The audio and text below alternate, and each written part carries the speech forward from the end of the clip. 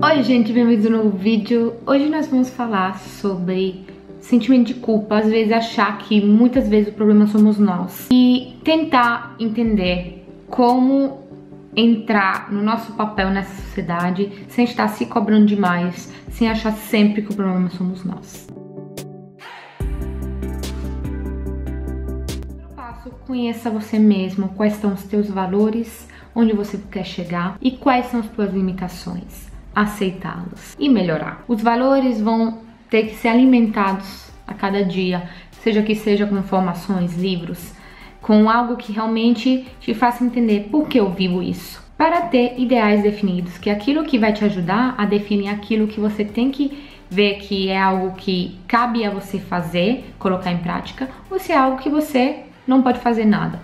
Atenção para quem tem uma culpa desordenada, porque tira muito nosso foco das nossas responsabilidades.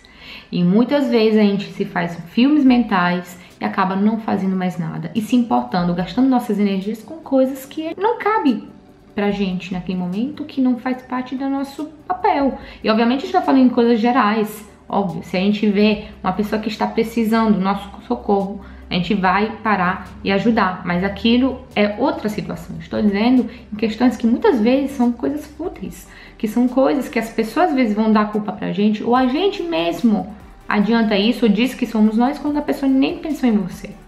Defina as tuas responsabilidades dentro da tua vida, da tua realidade e daquilo que você é chamada a fazer. Coloque na sua cabeça, é algo que eu errava muito, que você não pode salvar o mundo.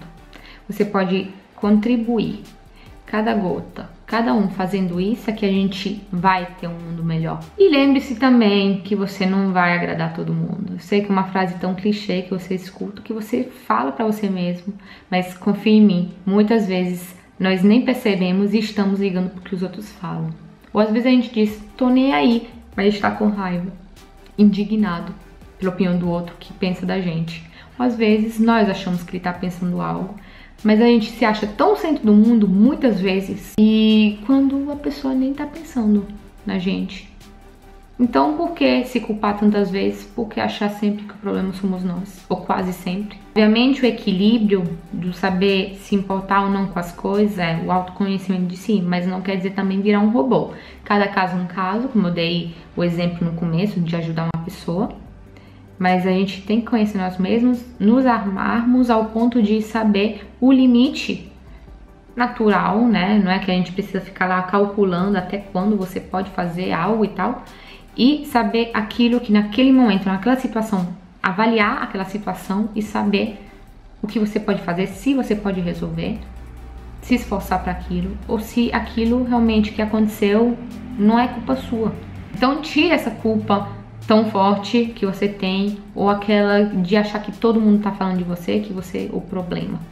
Então vamos melhorar para algo que acrescenta ainda mais nos, no crescimento dos nossos valores. Por isso que é algo que eu tô fazendo e que até quem não gosta tanto de ler precisa é se alimentar com a leitura ou com vídeos, né, que te ajudem e te amadureçam que seja espiritualmente, intelectualmente, que possam nos guiar. Quais são as tuas inspirações?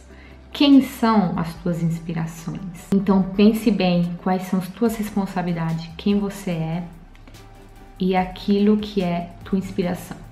Não esqueça de curtir esse vídeo, mande para alguém, se inscreva aqui no canal, me siga nas redes sociais que eu vou dando sempre dicas sobre organização e produtividade cotidiano. Espero que vocês tenham gostado desse vídeo e nos vemos próxima semana. Um beijo, tchau, tchau.